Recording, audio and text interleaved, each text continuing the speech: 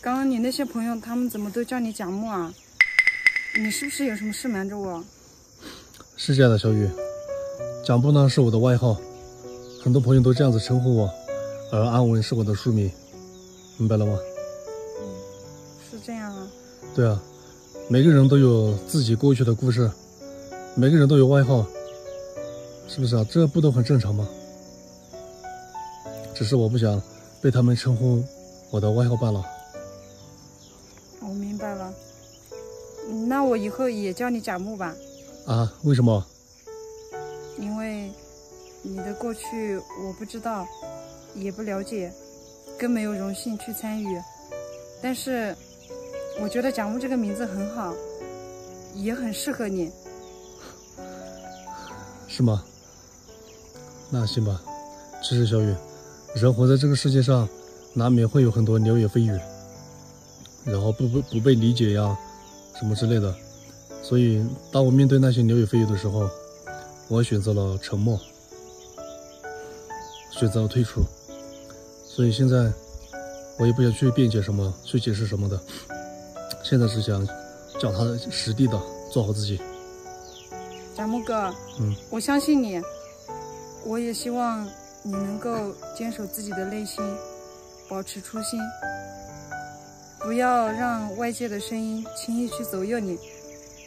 嗯，也希望你能够做回自己。谢谢你，小雨。哎呀，没想到你还还挺会说的，这番话还是勾起了我很多事情、很多往事，但是还是挺开心的。你能跟我说这些话。嗯。哦，对了，小雨，你到底有没有认真的考虑过我呀？那为什么考虑做我女朋友呀？前两天不是叫你回去考虑一下吗？所以小雨，要不要做我女朋友？考虑清楚没有？其实，在没有遇到你之前，我觉得爱情跟我没有任何关系。为什么呢？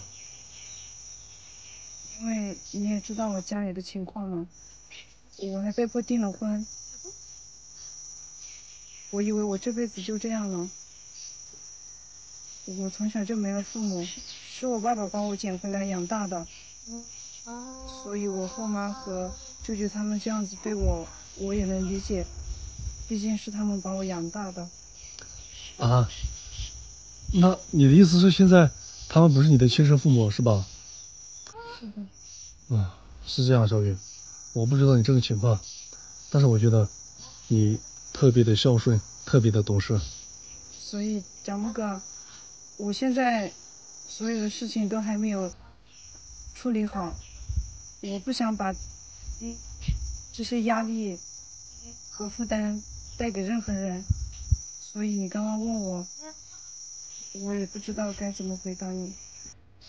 没事的，小雨，困扰你的事情呢，马上就可以解决了，我一直在想办法。然后无论怎么样，我都希望你过得好，明白吗？